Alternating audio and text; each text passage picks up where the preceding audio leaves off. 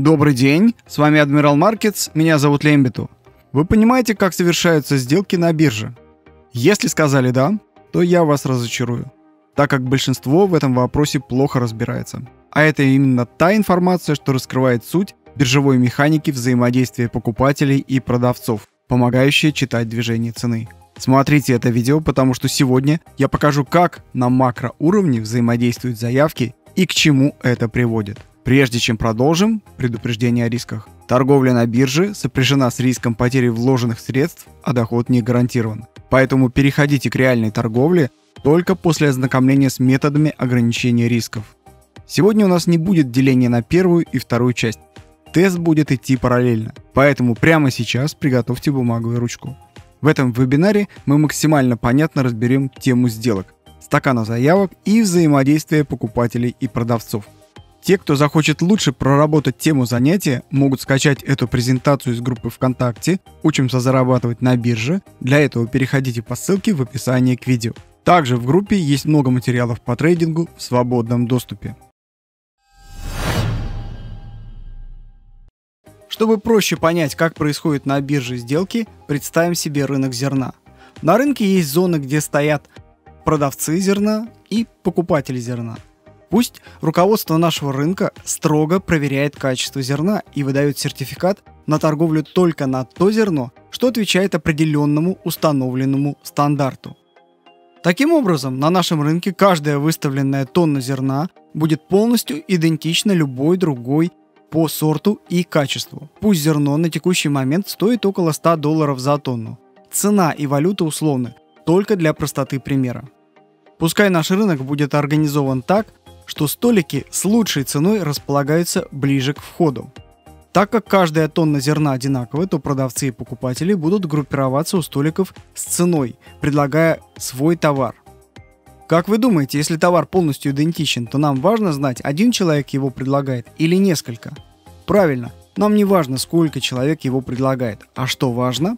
Нам важно понимать, сколько по этой цене предлагается товара – Поэтому пусть у каждого столика будет табличка, сколько тонн зерна есть по этой конкретной цене.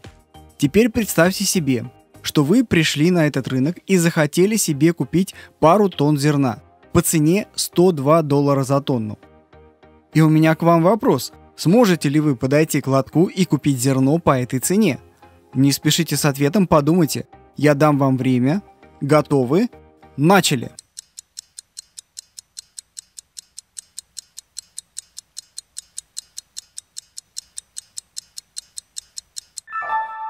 Подумали? Давайте разбираться.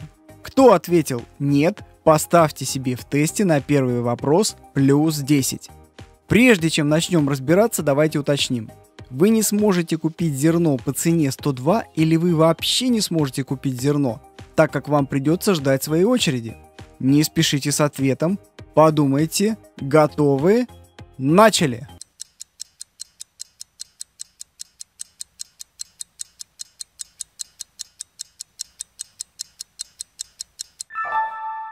Согласитесь, вначале многие решили, что совершение сделок, что в этом может быть сложного? Оказалось все гораздо сложнее. Если ответили «надо подождать», вы ошиблись. Правильный ответ «да». Те, кто правильно ответил, поставьте себе плюс 10. Если вы свой ответ уточнили и сказали, что купите 2 тонны по цене 100, тогда добавьте себе не 10, а 25 баллов. А теперь давайте будем разбираться в вопросе. На первый взгляд может показаться, а в чем может быть проблема? Подошел и купил или подождал, но не спешите. Здесь важно вспомнить, что все зерно стандартизировано. А это означает, что нет смысла покупать товар по 102, когда есть возможность купить тот же товар по 100. Согласитесь, вы вряд ли в магазине из двух идентичных товаров купите тот, что подороже. Это можно сделать только по ошибке. Но на бирже такая ошибка исключена так как за этим следит специальная программа. Поэтому если мы хотим купить или продать, то можем совершить сделку только на первых столах, где лучшая цена на покупку и продажу. Раз у нас нет доступа к другим столикам, то перестроим наш рынок и сделаем так, что продавцы и покупатели будут располагаться друг напротив друга. Первым будут те, у кого лучшие цены, а остальные встанут за ними. Очередь будет организована так, что чем лучше цена, тем столик будет ближе к началу. То, что мы с вами построили, называется таблица заявок или на сленге трейдеров стакан. Таким образом, стакан это таблица, в которой отображаются заявки от покупателей и продавцов по конкретным ценам.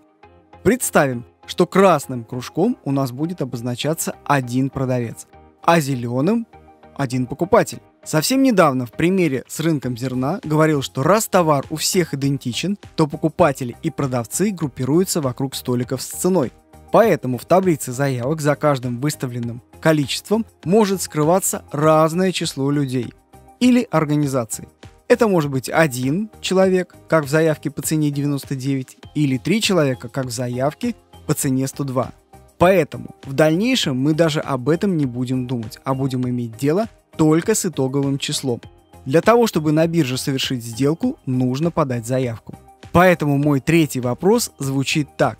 Как называются заявки, находящиеся в стакане? Немного подумайте. Готовы? Начали!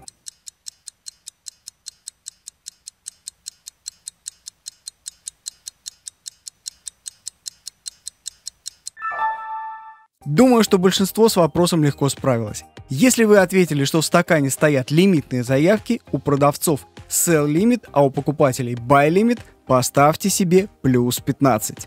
Как вы думаете, будут ли на рынке происходить сделки, если у всех лимитные заявки? Подумайте. Готовы? Начали.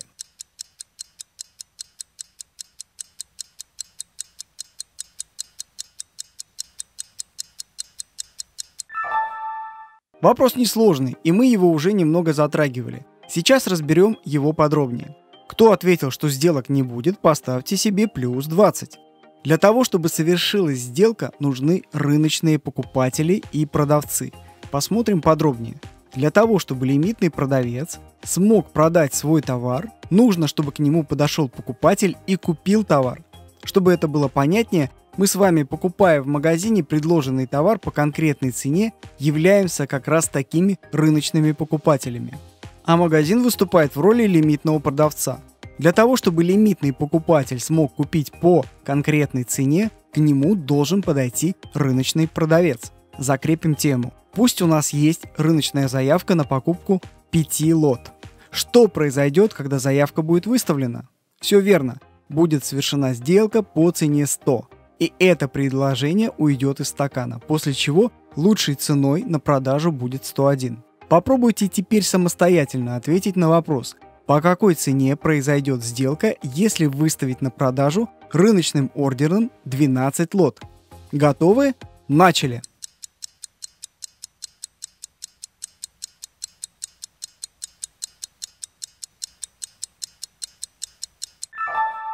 Поняли? Давайте проверим результат. Если ваш ответ произошла сделка по цене 99 и 98, по цене 99 продано 10 лот, а по цене 98 продано 2 лота, смело можете поставить себе плюс 20. Подведем краткие итоги по первой теме. На бирже используются два типа базовых заявок. Первый тип – лимитные заявки, sell limit и buy limit. Второй тип – рыночные заявки, рыночная продажа и рыночная покупка – эти заявки еще называются маркет-ордера. Второй вывод. Для исполнения лимитной заявки нужно, чтобы появилась рыночная заявка. Sell limit встречается с рыночной заявкой на покупку и происходит сделка. Buy limit встречается с рыночной продажей и происходит сделка. Двигаемся дальше и выясним, что такое длинные и короткие сделки. Длинная сделка – это покупка актива с целью его перепродажи дороже – в обычной жизни длинные сделки нам встречаются регулярно. Вы что-то покупаете, рассчитывая потом перепродать это дороже.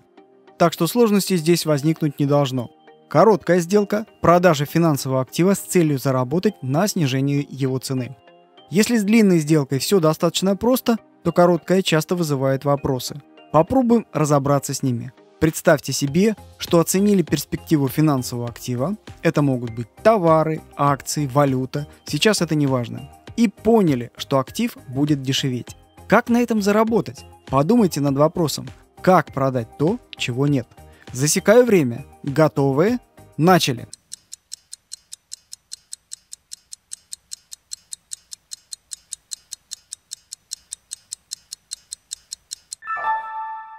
На самом деле ответ очень простой. Кто ответил, что для того, чтобы продать то, чего нет, нужно взять в долг и после этого продать, поставьте себе плюс 10.